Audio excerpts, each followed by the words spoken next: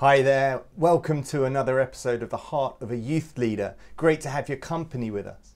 So, this morning, a colleague of mine asked me a great question. They said to me, Andy, how much of my day should I spend praying for what I'm doing?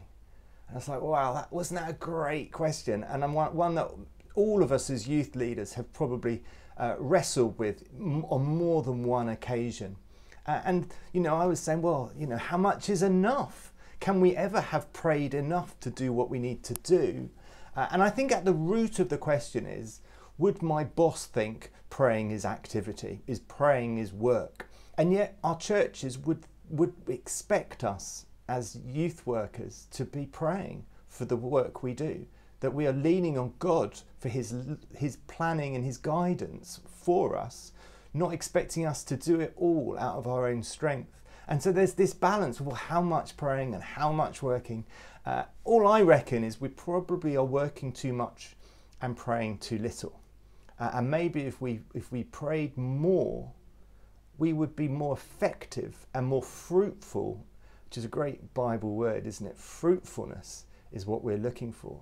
To see fruitfulness of more young people growing in their relationship with God. Uh, and it's about prayer. Uh, and I was uh, reflecting on this well known story from Scripture uh, yesterday. It comes from Luke chapter 19, uh, and it's the famous story of Zacchaeus, the tax collector. It says in verse 1, chapter 19 Jesus entered Jericho and was passing through. A man was there by the name of Zacchaeus. He was a chief tax collector and was wealthy. He wanted to see who Jesus was, but because he was short, he could not see over the crowd. So he ran ahead and climbed a sycamore fig tree to see him, since Jesus was coming that way. When Jesus reached the spot, he looked up and said to him, Zacchaeus, come down immediately. I must stay at your house today. So he came down at once and welcomed him gladly. All the people saw this and began to mutter, He has gone to be the guest of a sinner. But Zacchaeus stood up and said to the Lord, Look, Lord, here and now I give half of my possessions to the poor. And if I have cheated anybody out of anything, I will pay back four times the amount. Jesus said to him, Today salvation has come to this house, because this man too is the son of Abraham. For the Son of Man came to seek and to save what was lost. Now, it's a wonderful story, and there's so many things we can draw out and have been drawn out. But the one thing I really was struck by was right at the start. Picture the scene. There's a crowd forming because Jesus, this person who's known for the miracles, known for this incredible teaching, is wandering through their city, wandering through their town. Uh, and Zacchaeus, being a small man, couldn't see because of the people blocking his way. And he's like, What can I do? What can I do? I can't see Jesus. There's things blocking my view. And so he shins up a tree to get a better view. And of course, by putting himself in a better view, put him in a better position for Jesus to see him. Because Jesus, walking past, seeing a crowd, sees this man up a tree. What's a man doing up a tree? A child, maybe, but an adult? Uh, and it got me thinking what are the things blocking my view from Jesus at the moment? What gets in the way of my relationship with God? Uh, and do I expect Him to remove those things? Or is there something I can do to get a better view? It may be that uh, you, you feel there's things in your life that are blocking your view of Jesus at the moment. I know for me, I've been, I've asked this question in the past. I've realized that maybe staying up too late blocks my view of Jesus because I am so tired the following day that I just don't really want to spend time. I just want to get through what I've got to get through. I know it's very easy for me to find that actually I don't always have a quiet time. I don't always read my Bible. And there's usually a reason for that. Usually it's because I've got up too late in the morning, or it's because uh, I've been distracted, or maybe I've actually felt that doing stuff is more important. Getting on with the work is more important than spending time with my Father.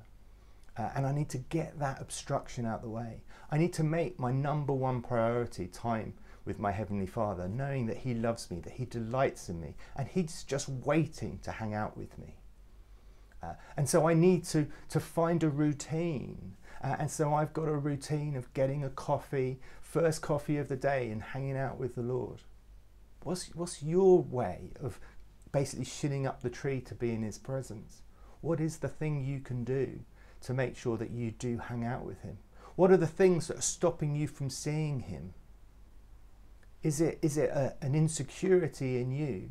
Uh, can we feel that it's a bit of an indulgence to spend time reading, especially if we've got family uh, and they need our attention? Uh, we can feel like we're neglecting them.